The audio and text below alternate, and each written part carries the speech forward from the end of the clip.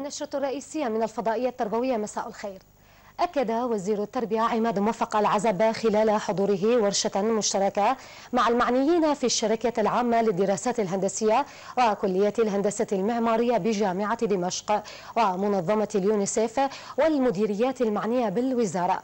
أكد أن الوزارة عملت بشكل مكثف على مدار ستة أشهر من خلال لجنة مكونة من خبرات تربوية وهندسية لتزويد الشركة العامة للدراسات الهندسية برؤية واضحة تكون بمثابة معايير أساسية للبناء المدرسي الحديث تسهم في وضع مواصفات وطنية قياسية للبناء المدرسي. تراعي احتياجات المتعلم والمهارات التربوية التي تحقق الغاية من التعليم.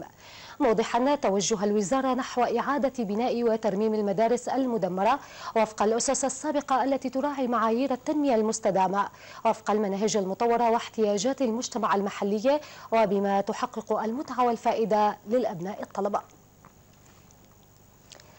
تنفيذا لتوصيات مؤتمر التطوير التربوي تستمر مديرية التربية في حماة تنفيذ المرحلة الرابعة من الدورات التدريبية لمديري المدارس وليد سلطان وهذه التغطية. التربية في حماة. الدورات التدريبية بمرحلتها الرابعة المنفذة لمديري المدارس حيث بلغ عدد الملتحقين بالدورة 190 مديرا من مدارس مصياف كافة. تأتي هذه الدورات تنفيذا لتوصيات مؤتمر التطوير التربوي. آه، التزام كبير آه، هناك فائدة كبيرة. طبعا الهدف من هذه الدورات كما ذكرنا سابقا الارتقاء بمهارات آه، مدير المدرسة. بحيث نضمن التطوير تطوير العمل التربوي والإداري ضمن مدارس المحافظة. هذه الدورات كما ذكرنا هي دورات متسلسلة. إن شاء الله تعالى سيتم متابعتها خلال العام القادم. آه، وفي آه، مواد أخرى. بعد التوقف آه، دورات مدير المدارس بسبب الجائحة العالمية الكورونا الدورات التدريبية لمديري المدارس في مصياف واليوم الرابع من الدورة راح نجري الاختبار هذا وتلقى الدارسون في الدورة العديد من المحاور التي من شأنها رفع السوية وزيادة الخبرات العملية من ناحية القيادة التربوية في مختلف مفاصل العمل التربوي. المحاضرة آه، تتضمن الأمور الصحية التي يجب آه، تقديمها للسادة المدراء من أجل تطبيقها في المدارس وخاصة الإضاءة والتهوية في الصفوف الخزانات المياه مناهل المياه دورات المياه آه، نظافة الصفوف النظافة العامة.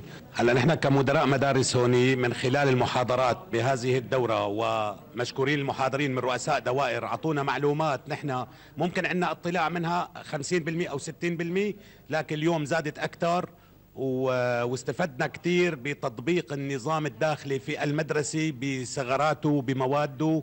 طبعا الدورة هامة ومفيدة جدا أضافت الكثير من المفاهيم التربوية. يعني اكتسبنا أمور كثير كويسة ومهام شو ممكن المدير يتصرف بمواقف كثيره آه، عقوبات ممكن إنه نحن نتجنبها مشان ما نوقع فيها. وتهدف الدورات إلى الارتقاء بأداء وقدرات ومهارات مديري المدارس انطلاقا من أهمية المدرسة كونها ركنا اساسيا من أركان العملية التربوية. لأخبار التربوية وليد سلطان حما.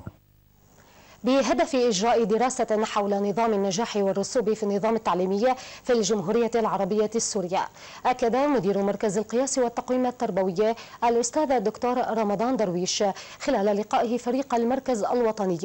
أكد أهمية إنجاز الدراسة وفق فترة زمنية مدروسة مشيرا إلى ضرورة تشكيل لجنة مقومين من فريق المركز لمراجعة وتقويم بعض ملفات الإنجاز والمشروعات والأنشطة المنفذة من قبل تلاميذ تلاميذ الصفوف من الأول وحتى الرابع لدراسة تعديل نظام الامتحانات في تلك الصفوف واقتراح تكريم الموجهين والمعلمين المتابعين لتلاميذهم والمشرفين على المشاريع والأنشطة المتميزة للحث على الاهتمام والتركيز على ملفات الإنجاز.